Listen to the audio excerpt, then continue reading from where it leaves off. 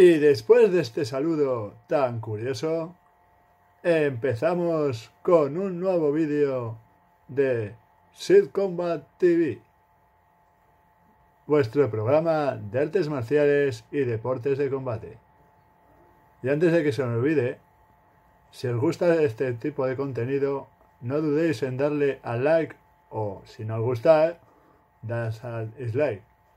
Y sin más preámbulos, comenzamos con el contenido de hoy. Dentro vídeo. La gladiatura. Esos luchadores que combatían en la arena del circo romano ante más de 50.000 espectadores. Era el deporte de combate más famoso y con más seguidores del mundo antiguo.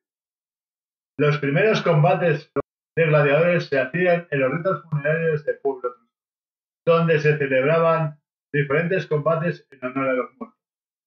Se hacían por una especie de culto a Saturno dentro de los juegos funerarios, lo cual significaba que se realizaban durante los Saturnales.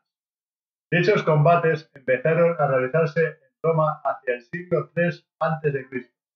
Dependiendo de si había o no prisioneros, no faltaban hombres que de manera voluntaria se ofrecían a combatir el cadáver se consumía en la pira funeraria, pues era una especie de holocausto, que se ofrecía la sangre que se derramaba al difunto.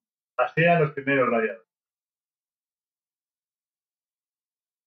A medida que este tipo de combates cogían popularidad y fama, dejaron de ser parte de los ritos funerarios y ser uno de los deportes públicos más famosos cuatro, esperando que haya sido de vuestro agrado o que haya y que os haya gustado conocer un poco mejor el mundo de los gladiadores.